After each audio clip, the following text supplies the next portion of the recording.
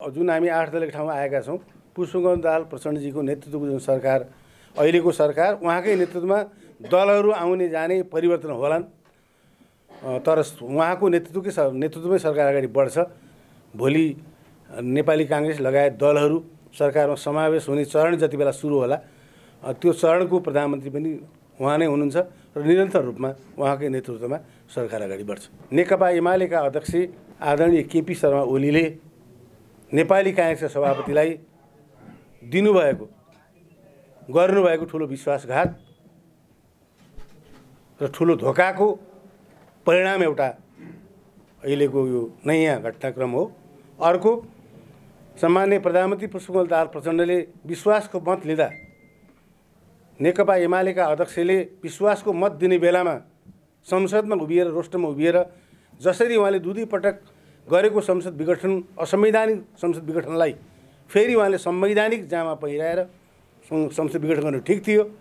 मैले संसद विघटन गरेको कुरा ठिक हो भन्ने सन्देश उहाँले प्रष्ट बुझिने गरिदिनु त्यो सन्देशले अहिलेका प्रधानमन्त्री सामान्य प्रधानमन्त्री पुष्पकमल दाहाल प्रचण्डलाई अत्यन्त मजाले झस्कायो। त्यसैले त्यस त्यो दुईवटा घटनाबाट ती दुईवटा घटना जोडिएर फेरि अप्राकृतिक एजेन्डा नमिलेको पार्टीहरूको बिचको भएको पुस दस गतिको मिलन जुन थियो त्यो मिलन भत्कियो। पहिलो कुरा त हामी आठ दलले राष्ट्रपतिको साझा उम्मेदवार अगाडि सारेर अगाडि बढेका छौँ र सरकार निर्माणको नयाँ सन्दर्भमा हामी प्रवेश गरे गरेका छैनौँ। यो कुरा तपाईँलाई म प्रश्न पार्न चाहन्छु। सरकार निर्माणको चरण प्रारम्भ भएको छैन। अहिले सामान्य प्रधानमन्त्रीज्यूले दलहरूका नेताहरूसँग सल्लाह गरेर उहाँले राष्ट्रपति र उपराष्ट्रपतिको निर्वाचन सम्पन्न भइसकेपछि विश्वासको मत लिनुहुन्छ। त्यो विश्वासको मत लिइसकेपछि त्यसपछि हामी सरकार निर्माणको प्रक्रियामा प्रवेश गर्छौँ। त्यसैले अहिले सरकार निर्माणको प्रसङ्ग चरण दलहरूको बिचमा छलफलै नभए हुनाले अहिले मन्त्रीका बारेमा मैले आज केही कुरा बोल्नु त्यो हतार हुन्छ। जहाँसम्म मेरो तपाईँले हिजो सामा फेसबुकमा ट्विटरमा आएको प्रसङ्ग उठाउनु भयो मैले मन्त्री बन्दैन भनेको आज होइन हिजो होइन अस्ति होइन। मैले मन्त्री बन्दैन भनेको आजभन्दा सात वर्ष अगाडि। जति बेला म संविधान जारी भएपछि नेकपा नेपाली काङ्ग्रेस नेकपा एमाले नेकपा माओवादी केन्द्र र तत्कालीन लोकतान्त्रिक फोरमको बिचमा संविधान जारी गर्नुभन्दा अगाडि जे सहमति भएको थियो हामीहरूको बिचमा त्यो सहमति नेपाली काङ्ग्रेसका तत्कालीन आदरणीय सभापति र तत्कालीन सम्मान्य प्रधानमन्त्री सुशील कोइरालाजीले त्यो सहमतिबाट पछि फर्कने निर्णय गरेर प्रधानमन्त्रीमा उम्मेदवार दिने अवस्थामा त्यो सहमति तोडेको कुरालाई मैले असहमति जनाउँदै सहमहामन्त्री पदबाट राजीनामा गरेर म देश दौडामा हिँडेको थिएँ। त्यही देश दौडा झापादेखि सुरुको देश दौडा अर्घाखाँची पुग्दा अर्घाखाँचीको पार्टीको कार्यक्रममा मैले त्यति बेला अरू कुराहरू राख्ने बेलामा भनेको थिएँ। आजदेखि अब अर्घाखाँची नै मैले रोजेँ सन्दर्भ अर्घाखाँची जिल्ला पऱ्यो। म आज आजसम्म धेरै मन्त्रालयको मन्त्री भएँ र अब म मेरो जीवनमा मन्त्री बन्दिनँ। मन्त्री बनाउने अभियानमा आजदेखि लाग्छु। मन्त्रीभन्दा माथि भगवान्को र नेपाली जनताको र मतदाताको जिम्मामा छोडिदिन्छु भनेर मैले यही शब्द यही तरिकाले घोषणा गरेको थिएँ।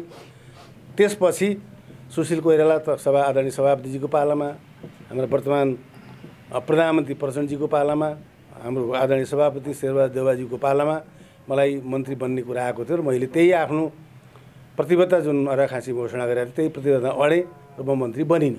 त्यसरी त्यो सन्दर्भमा त्यो कुराहरू आएको छ र केही सञ्चार माध्यमले त्यसलाई स्टोरी पनि बनाएको मैले हेरेँ। मेरो ट्विटको सन्दर्भ मेरो फेसबुकको सन्दर्भ त्यही हो। र जब जहाँसम्म अब सामान्य प्रधानमन्त्री पुष्पकोल दाहाल प्रधान प्रचण्ड नेकपा माओवादी केन्द्रका अध्यक्ष उहाँको नेतृत्वमा नै सरकार अगाडि बढ्छ। भोलि नेपाली काङ्ग्रेस लगायत दलहरू सरकारमा समावेश हुने चरण जति बेला सुरु होला त्यो चरणको प्रधानमन्त्री पनि उहाँ नै हुनुहुन्छ र निरन्तर रूपमा उहाँकै नेतृत्वमा सरकार अगाडि बढ्छ। यो अब जुन हामी आठ दलको ठाउँमा आएका छौँ पुष्पकमल दाहाल प्रचण्डजीको नेतृत्वको जुन सरकार अहिलेको सरकार उहाँकै नेतृत्वमा दलहरू आउने जाने परिवर्तन होलान्। तर उहाँको नेतृत्वकै नेतृत्वमै सरकार अगाडि बढ्छ। र जुन हामी एकपटक फेरि पुस दस गते दुर्भाग्यवश मैले भन्नुपर्छ तपाईँले प्रसङ्ग उठाइसकेपछि। नहुनुपर्ने दुर्घटना हामीले बेहोऱ्यौँ।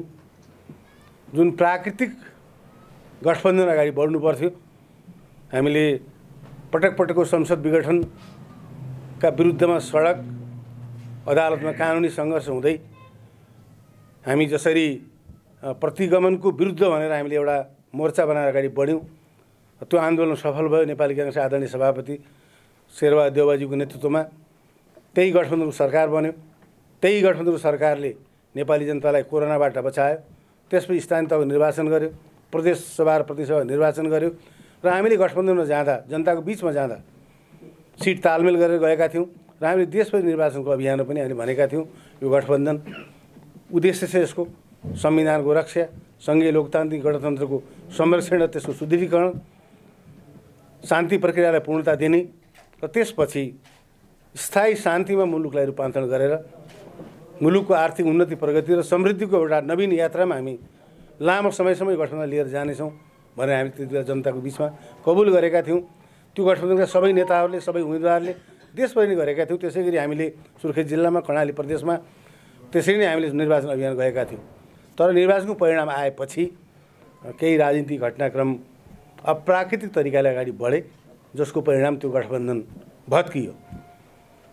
र त्यो गठबन्धन भत्किएको सन्दर्भमा अहिले म यति मात्रै भन्दछु त्यो गठबन्धन भत्किने र अहिले फेरि नेकपा एमाले सरकारबाट बाहिर भएर फेरि आठ दलको गठबन्धनको जुन फेरि स्वरूप अगाडि बढ्दैछ गठबन्धनमा घोषणा भइसकेको त छैन तर हामी राष्ट्रपतिको निर्वाचनमा एक ठाउँ उभिएका छौँ र हामीले एक ठाउँ उभिँदा त्यही हामीले निर्वाचनको बेलामा जे जनताको अगाडि राखेका थियौँ संविधानको रक्षा सङ्घीय लोकतान्त्रिक गणतन्त्रको सुदृढीकरण त्यसको विस्तार र शान्ति प्रक्रियालाई पूर्णता दिएर मुलुकमा स्थायी शान्ति कायम गरेर मुलुकको आर्थिक उन्नति प्रगति र आर्थिक विकासका लागि हामी लामो यात्रा अगाडि बढाउँछौँ भनेर आठ गठबन्धन दलका नेताहरूले। विभिन्न चरणमा त्यो मैले अघि नै भने सुरुमा भने धेरै कुराहरू छन्। ती कुराहरू समय जति बेला त्यो समय आउँछ त्यति बेला सविस्तार अगाडि बढाउँदै जाउँला। र जहाँसम्म त्यति बेलाको गठबन्धन भत्किनुमा केही हाम्रा कमजोरी रहे र अहिलेको अहिलेको जुन परिस्थितिको निर्माण भयो नेकपा एमाले सरकारबाट बाहिरिने र नेपा नेपाली काङ्ग्रेस माओवादी केन्द्र लगायत आठ दल एक ठाउँ उभिएर राष्ट्रपतिको उम्मेदवार नेपाली काङ्ग्रेसका उम्मेदवारलाई सर्वसम्मतिले समर्थन गर्ने जुन परिस्थिति निर्माण भएको छ यो परिस्थितिको निर्माण दुईवटा कारणले भएको छ। एउटा नेकपा एमालेका अध्यक्ष आदरणीय केपी शर्मा ओलीले नेपाली काङ्ग्रेसका सभापतिलाई दिनुभएको गर्नुभएको ठुलो विश्वासघात र ठुलो धोकाको परिणाम एउटा अहिलेको यो नयाँ घटनाक्रम हो। अर्को सामान्य प्रधानमन्त्री पुष्पकमल दाहाल प्रचण्डले विश्वासको मत लिँदा नेकपा एमालेका अध्यक्षले विश्वासको मत दिने बेलामा संसदमा उभिएर रोस्टरमा उभिएर जसरी उहाँले दुई पटक गरेको संसद विघटन असंवैधानिक संसद विघटनलाई फेरि उहाँले संवैधानिक जामा पहिराएर संसद विघटन गर्नु ठिक थियो। मैले संसद विघटन गरेको ठिक हो भनेर पहिलाको सत्तालिस सालको संविधानमा संविधान विघटनसँग सम्बन्धित फरक विषयलाई उहाँले जोडेर पहिलाका संसद विघटनका उदाहरण पनि दिनुभयो। सत्तालिस सालको ने नेपालको संविधानमा सर प्रधानमन्त्रीलाई संसद विघटन गर्न सक्ने स्पष्ट व्यवस्था गरिएको थियो। प्रधानमन्त्रीलाई त्यो अधिकार संविधानले व्यवस्था गरेको थियो। तर बहत्तर सालमा संविधान के अरे संविधान सभाले जारी गरेको संविधान तपाईँलाई भन्नु जरुरी छ। त्यो संविधान बनाउँदा त्यो संविधान बनाउने प्रत्येक चरणमा जसरी अघि एकजना साथीले भन्नुभयो गठबन्धनको पहिलाको चरणमा र यो पुस दसपछिको चरणमा जसरी म पूर्ण रूपमा संलग्न छु त्यसै गरी संविधान निर्माणको प्रत्येक प्रक्रियामा संलग्न छु। त्यति बेलामा विशेष गरी एमालेकै तर्फबाट हामी कङ्ग्रेस माओवादी समेत शीर्ष नेताहरूको बैठकमा यो संसद पटक पटक प्रधानमन्त्रीले व्यक्तिगत लहरमा विघटन गर्ने जुन संवैधानिक व्यवस्थाको दुरुपयोग भयो विगतमा त्यसलाई अस्थिरता जन्मायो। त्यसैले संसदलाई विघटन गर्न नसक्ने सामान्य अवस्था गर्न नसक्ने प्रबन्ध गर्नुपर्छ भनेर सबैभन्दा बढी ने नेकपा एमालेकै तर्फ नेताहरूबाटै जबरजस्त तरिकाले प्रस्ताव आएको थियो। बरु नेपाली काङ्ग्रेसका नेताहरूले होइन यो संसदीय परिपाटीमा त्यसरी चाहिँ के संसदीय विघटन गर्न नसक्ने प्रधानमन्त्रीले राख्नु हुँदैन त्यो संसदीय व्यवस्थाको मोडलको विपत्ति हुन्छ भन्ने तर्क पनि राख्नु भएको थियो। तर हामीले संविधानलाई सम्झौताको दस्तावेज बनाउने क्रममा त्यसलाई संसदले वैकल्पिक सरकार दिने अवस्था रहेसम्म प्रधानमन्त्रीले संसद विघटन गर्न नसक्ने व्यवस्था अहिलेको संविधान प्रष्ट व्यवस्था छ। त्यसरी संविधानले गरेको प्रष्ट व्यवस्थाको विपरीत उहाँले संसद दुई दुईचोटि विघटन गर्नुभयो। सर्वोच्च अदालतले दुईचोटि संसद विघटनलाई असंवैधानिक करार गर्यो। त्यसको बावजुद पनि उहाँले प्रधानमन्त्री सामान्य प्रधानमन्त्री पुष्पकमल दाहाल प्रचण्डजीले विश्वासको मत दिने बेलामा एमालेको अध्यक्षको हैसियतले बोल्दा उहाँले संसदमा अत्यन्त आक्रामक तरिकाले आफूले गरेको असंवैधानिकसँग संसद विघटनलाई उहाँले ठिक भन्ने प्रस्तुत गर्नु गर्नुभयो। र उहाँको प्रस्तुतिबाट के देखिन्थ्यो भन्दा त्यसले के बुझिन्थ्यो भन्दा भोलि उहाँले चाहेको बेलामा सक्ने बेलामा यही संसदको अवधिमा पनि उहाँले सक्दा भोलि राष्ट्रपतिको चुनावपछि उहाँकै मान्छे राष्ट्रपति हुने स्वभाव भइसकेको अवस्था। र त्यो परिवेशमा उहाँले फेरि उहाँको हातमा त्यो प्रधानमन्त्रीको पद र राष्ट्रपति पुग्यो भने फेरि संसद बगैठन म गर्छु भन्ने सन्देश उहाँले प्रष्ट बुझिने गरिदिनु। त्यो सन्देशले अहिलेका प्रधानमन्त्री सामान्य प्रधानमन्त्री पुष्पकमल दाहाल प्रचण्डलाई अत्यन्त मजाले झस्कायो। र उहाँले त्यही जवाफ दिने क्रममा प्रधानमन्त्रीले पहिला बोल्नुभयो पछि लास्ट अन्तिममा जवाफ दिने क्रममा पनि उहाँले बोलेको त्यो खण्डको प्रतिवाद गर्नुभयो तत्कालै प्रतिवाद गर्नुभयो। त्यसैले त्यो घटनाले अहिलेको प्रधानमन्त्री सामान्य प्रधानमन्त्री पुष्पकमल दाहाल प्रचण्डको लाई झस्कायो उहाँको मनमा चिसो पस्यो। त्यसपछिका बैठकहरूमा उहाँकै सत्ता गठबन्धनको बैठकहरूमा पनि ओलीजी र प्रचण्डजीको द्विपक्षीय बैठकमा पनि कतिपय यो विषयमा भएका छलफलहरू पनि प्रासङ्गिक रूपमा उहाँले अस्तिको बैठकमा पनि आठ दलीय गठबन्धनको बैठकमा पनि केही कुराहरू राख्नु भएको थियो। त्यसैले त्यस त्यो दुईवटा घटनाबाट ती दुईवटा घटना जोडिएर फेरि अप्राकृतिक एजेन्डा नमिलेको पार्टीहरूको बिचको भएको पुस दस गतिको मिलन जुन थियो त्यो मिलन भत्कियो। र अब प्राकृतिक रूपमा एजेन्डामा सहमत भएका दलहरूको बिचमा आठ दलीय उपस्थितिबाट राष्ट्रपतिको उम्मेदवार रामचन्द्र पौडेल हाम्रा आदरणीय नेता प्रस्तावित हुनुभएको छ। अत्याधिक मतले उहाँले राष्ट्रपतिको निर्वाचन जित्नुहुनेछ। राष्ट्रपतिको निर्वाचनको परिणामपछि दलहरूको बैठक त चलिरहेको छ चल्दै गर्छ। त्यसपछि उपराष्ट्रपतिको निर्वाचन हामी जान्छौँ। उपराष्ट्रपतिको निर्वाचनपछि लगत्तै प्रधानमन्त्रीजीले विश्वासको मत लिनुहुन्छ।